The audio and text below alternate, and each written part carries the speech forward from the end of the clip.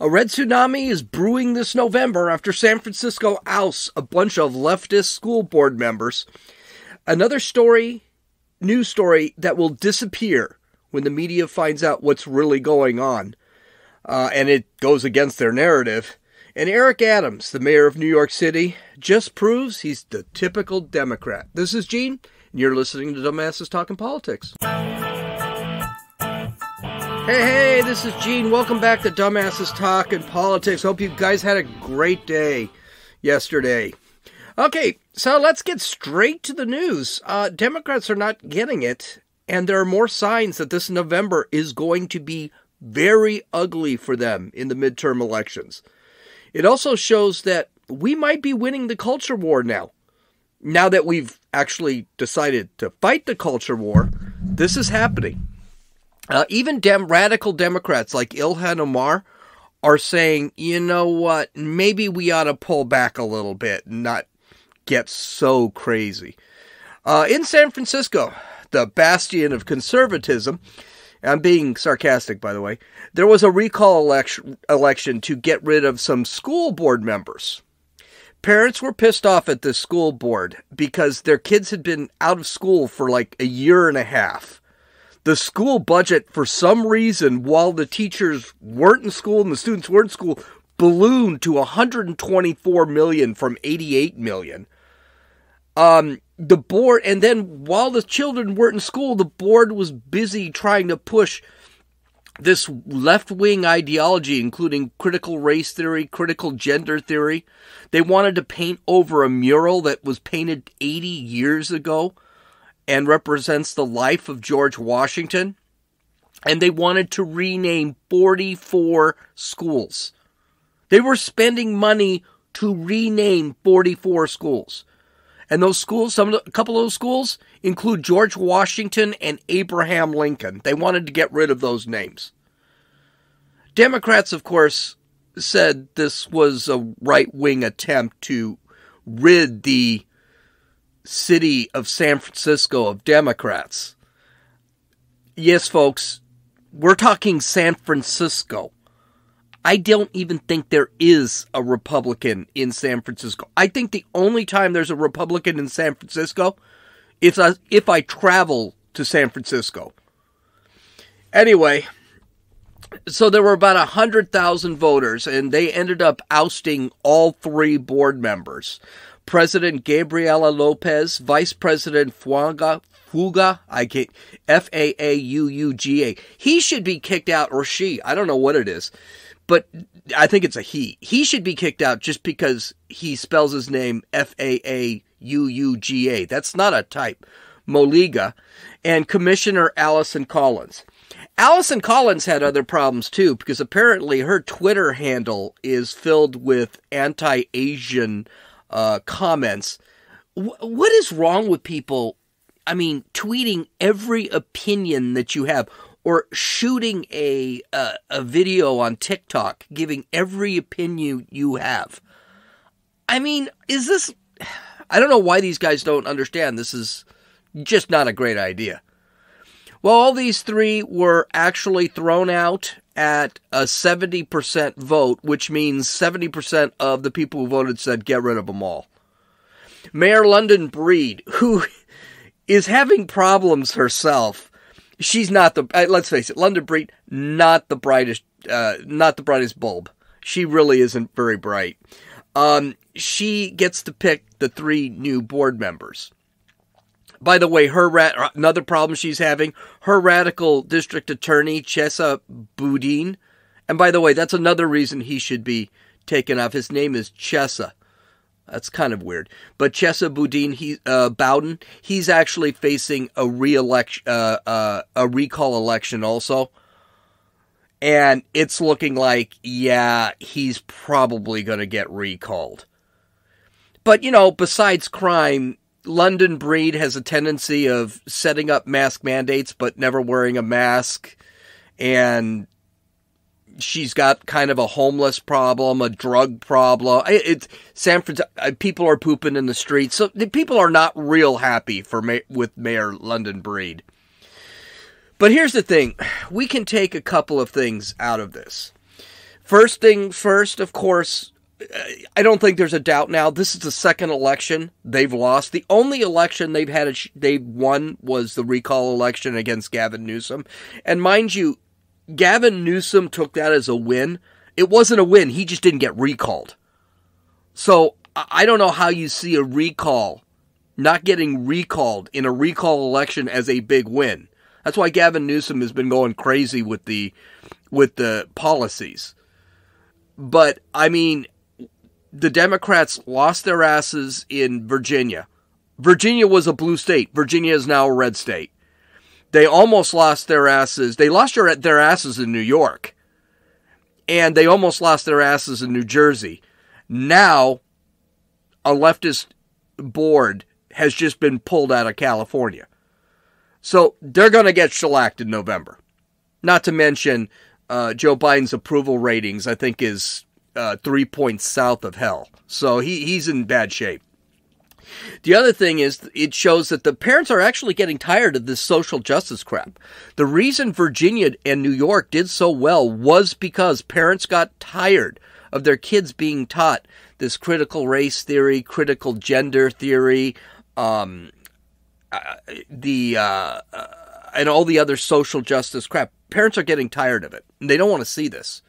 And we're seeing this throughout the country. The reason Virginia went red is because it's still a purple state. I, I wouldn't call it a blue state. I always a little surprised that uh, Virginia went red, but is because of parents.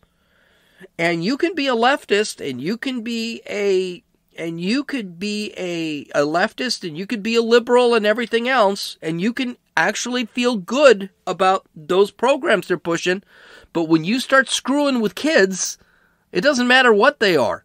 They will they will go right on them. And they have been. This also shows that Democrat policies suck. They don't seem to be focused on what's really important. In the school system, what's important? The kids learn how to speak, how to read, how to write, how to do math. They learn science. That's what's important. But the leftist narrative, they, they don't focus on that. They focus on on weird things. And we by the way, it's not just the school system. We see this in the federal government. We are suffering high inflation, a stagnant economy. We've got tons of foreign policy problems, including wars coming up, a nuclear armed Iran coming up, China about to invade Taiwan. Our southern border is wide open. 154,000 illegal immigrants came through the border last month in January. And Joe Biden is tweeting about climate change. I'm not kidding you. He did this today.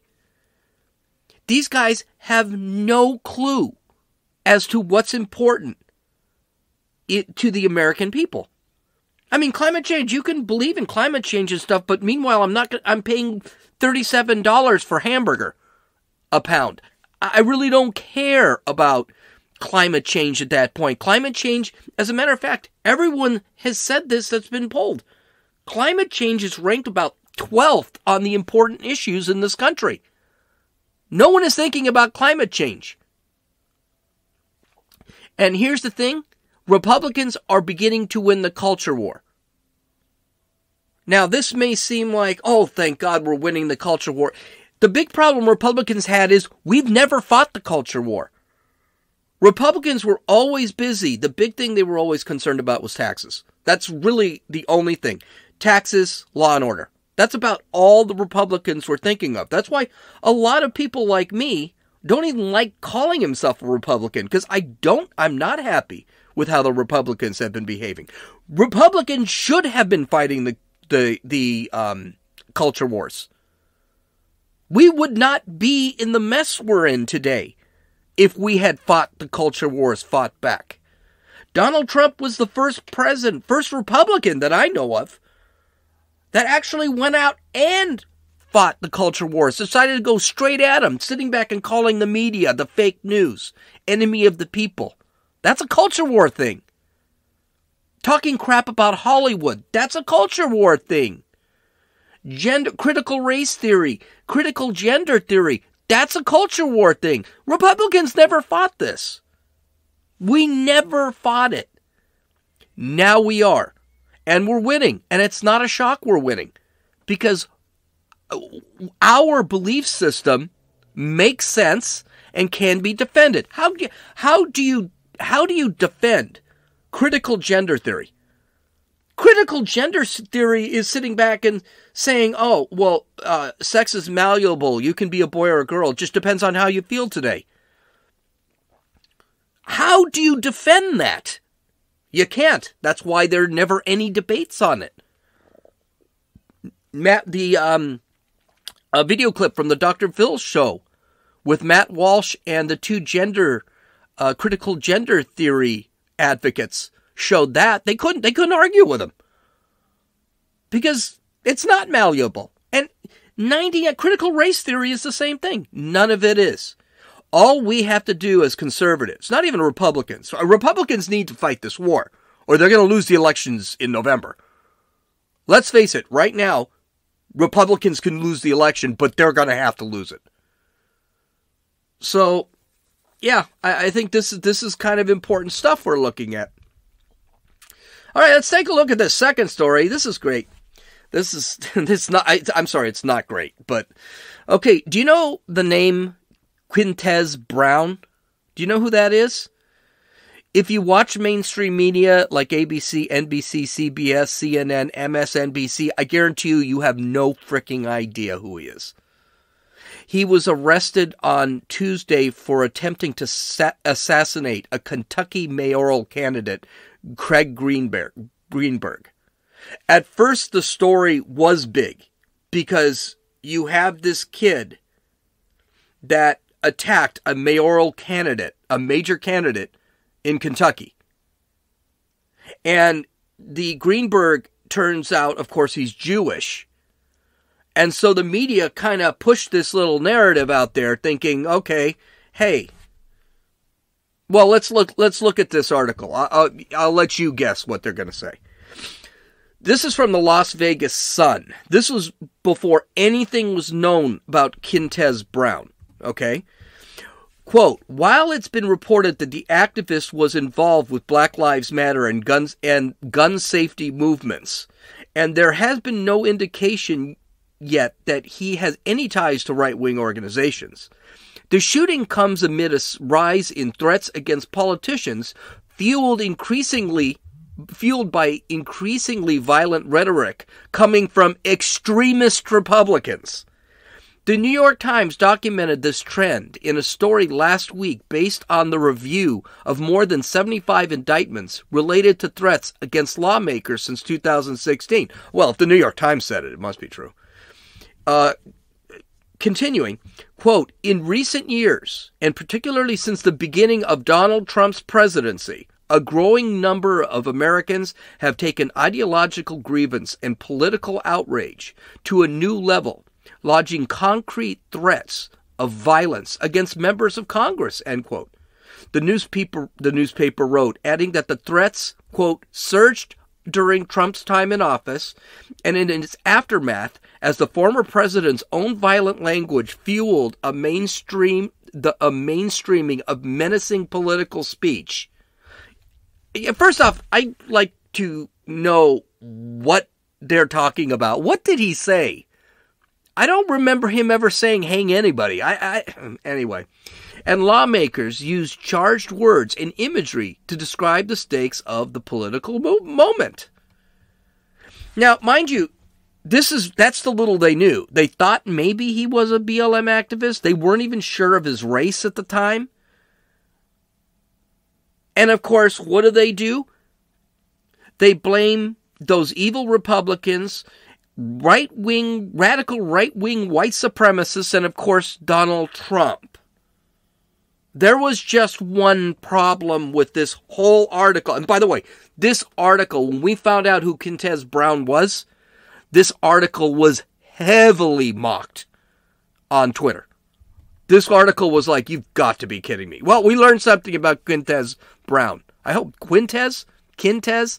I don't know. Who names their kid Quintez? Uh, whatever. Uh, so, uh, when we found out about Brown, guess what? Media was silent about it. They didn't talk about it at all. Unless you're watching Fox News, which men- mentions it for five minutes a day You wouldn't even know what happened.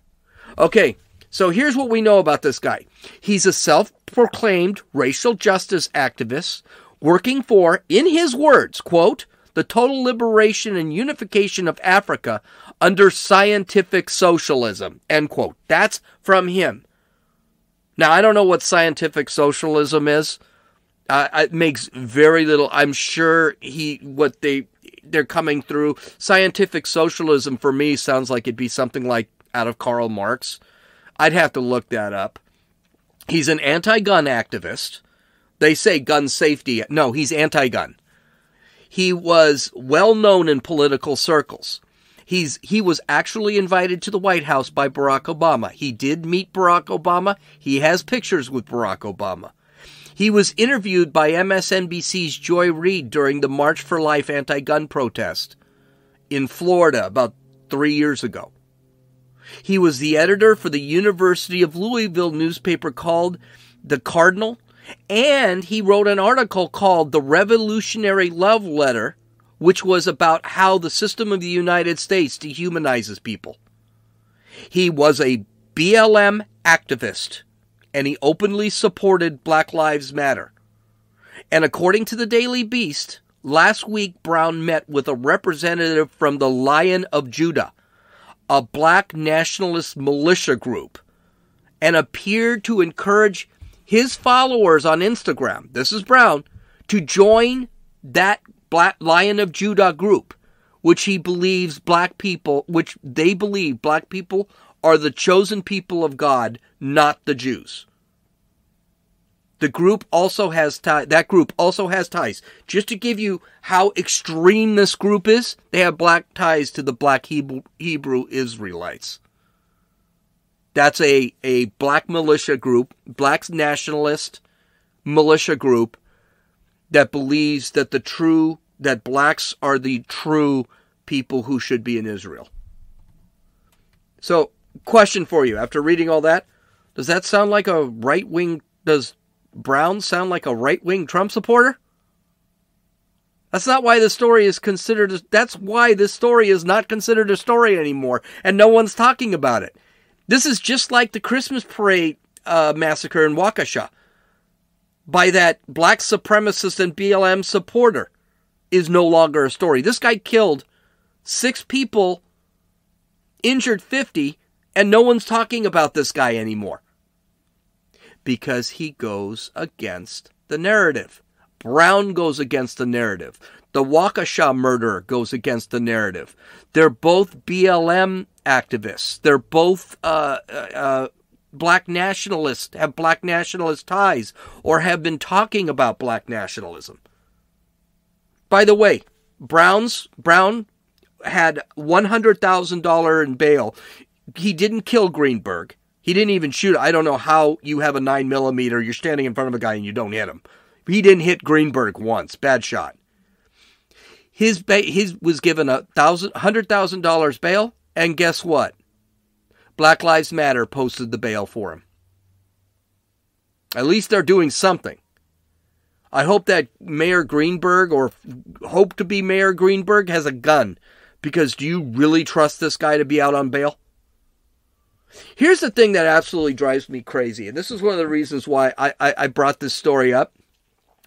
Um, they keep screaming, the media does, about white supremacy being the biggest problem in this country, and that's just simply not true.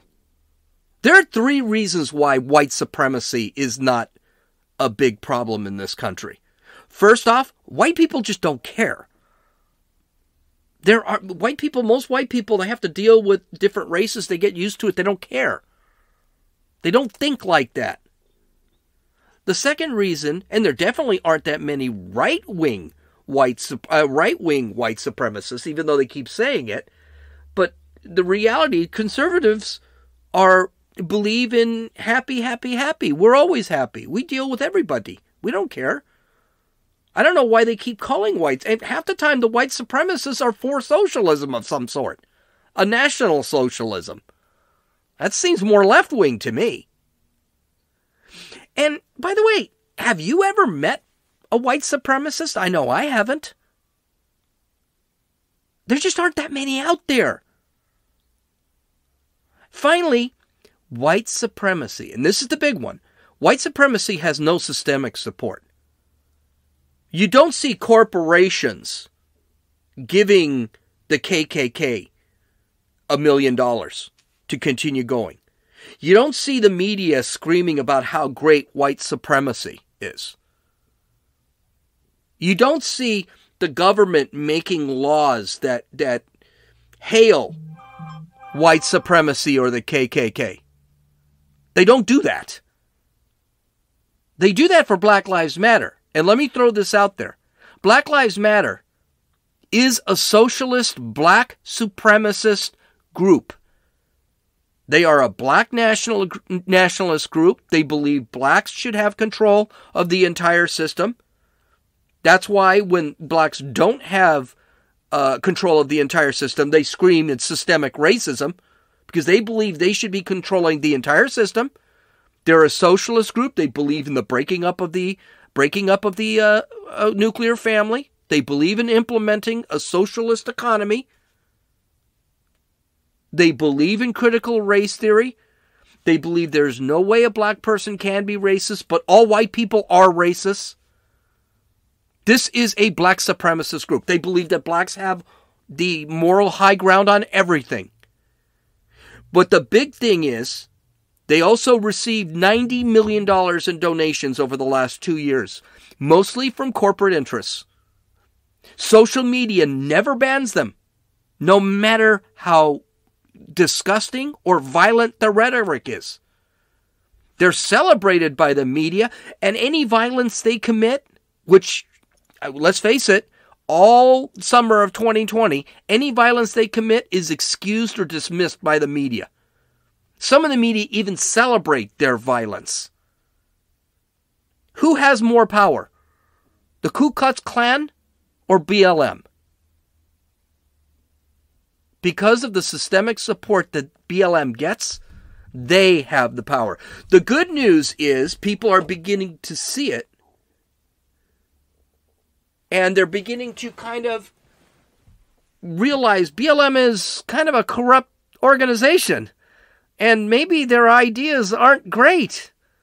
That's coming to the open. I mean, California and Washington state have already said BLM cannot c- collect donations because of the corruption. They're missing $60 million. How is that organization running $60 million? And the organization doesn't even have a leader. They don't have they have no set leadership right now. And they're missing 60 million dollars. Yeah, they're probably got some issues. Okay. In our last story, uh, the mayor of New York City, Eric Adams, is showing that he's really, even though he tout himself in a different way, he really is no different than a typical Democratic mayor. He did pro. He, I mean, in his election, I've been watching the election because I hate Bill De Blasio and I love New York, and New York is now turning into a crap hole. Um, he promised to bring the city together, together, solve the crime problem, hopefully solve some of the drug issues that they have there and the mental health issues. Well, he said something really stupid.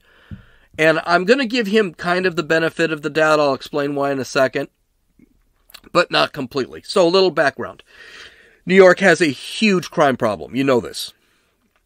Something up like 60, 60%. It's just, it's absolutely terrible over there.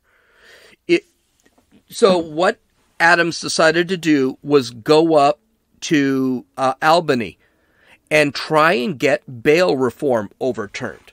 Now, what bail bail reform is the big problem, and he openly admits this. He's absolutely correct. Bail reform makes it that there is no cash bail, and you can be arrested, and unless it's a violent crime, they'll basically let you go with no bail and a summons.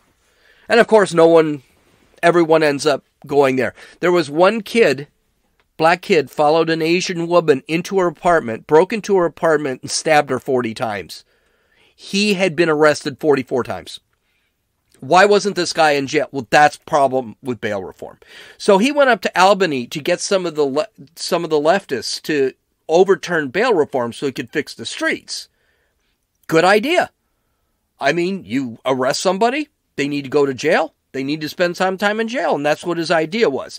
Well, a trip, well, shockingly, the trip didn't go very well. And basically, his bail reform overturn uh, legislation that he wanted to push through wasn't going to happen. Of course, the New York City media tore into him for failing to get any policies changed. In frustration, Adams decided to go off uh, on the media in the typical Democratic way. Listen. If this is how this is going to be, I'm just going to come in, do my announcements, and bounce. I'm not going to. Why am I even answering these questions? I'm a black man. That's the mayor. But my story has been interpreted by people that don't look like me. We got to be honest about that. How many blacks are in the editorial boards? How many blacks have determined how these stories are being written? No, no, no, no, no. This is a very, very bad look. This is not going to get embraced by anybody. He was elected as a mayor, even though he was black. Starting to scream. He was actually he was supported by a lot of these newspapers. Sitting back and saying that the reason you're giving me crap is because I'm black is just a bad look. And by the way, I read the New York Times. I I subscribe to the New York Times. Half their editorial board is black. I know they have. the New York Times was the garbage publication that that uh, spread that 1619 project crap. So I don't want to hear from this guy.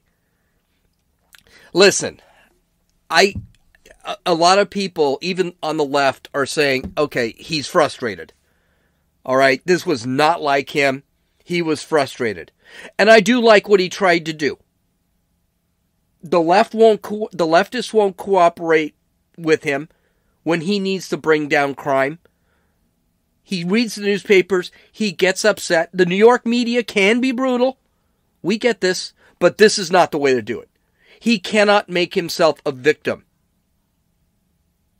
He because someone in the media doesn't because he doesn't like a headline that someone in the media wrote.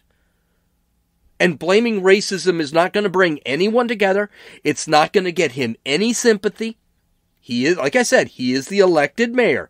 People in New York elected him, and he is black.